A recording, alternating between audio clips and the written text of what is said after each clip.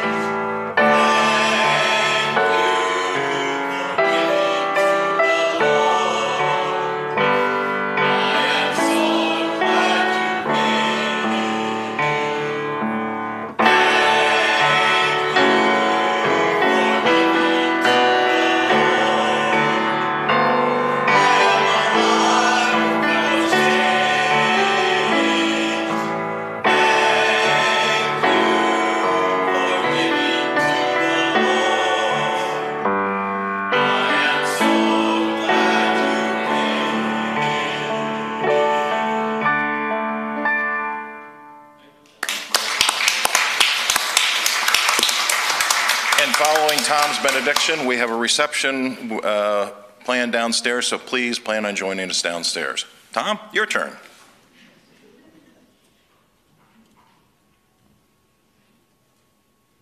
Thank you for that.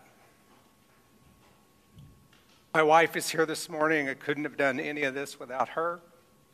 Um, So I thank her for her support and all of you. Let this be your benediction. You've been given every good gift for proclaiming God's presence and God's love. The world is thirsting for this good news. People struggle for words of hope and peace. As you have been blessed, now go be a blessing. In God's name, amen and amen.